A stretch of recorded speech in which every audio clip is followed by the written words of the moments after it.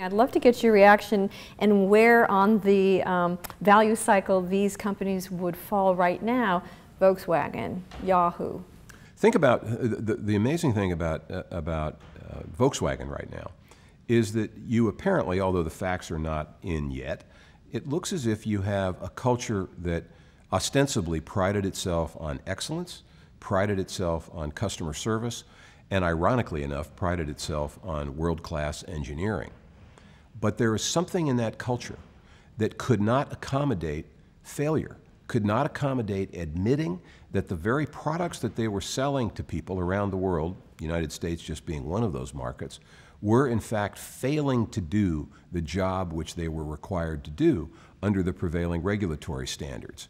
Now, there's a huge disconnect between the rhetoric of a company and the reality of the culture that, it, that, that goes right to the heart of this issue of how the Volkswagen culture accommodated itself to failure.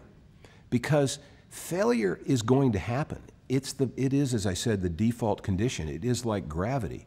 To deny it happens, or to deny that it's likely to happen, is to invite exactly what seems to have happened at Volkswagen, which is that it tends to get covered up. It tends to be not talked about. It tends to be not acknowledged because people are more afraid of, of raising a flag to say, this isn't working, we can't go forward. That's corrosive. Now, Yahoo's a different situation, it seems to me. Yahoo, you could argue, is in a slow failure mode.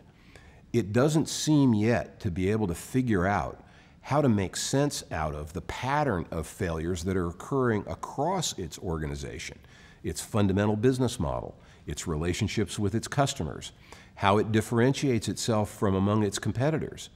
It seems to be almost firing at so many different targets that it doesn't yet, hasn't yet figured out a coherent, compelling, uh, convincing way to recalibrate that organization. Not to deal with the failure that's surrounding it, but to figure out what the nuggets for a successful new strategy might be that can capture some of the earlier spirit of Yahoo, some of the experimentation that was, that was Yahoo's hallmarks early on.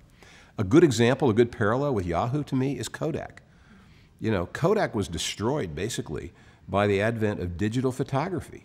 The irony is that Kodak itself owned some of the core patents that enabled digital photography to take place today.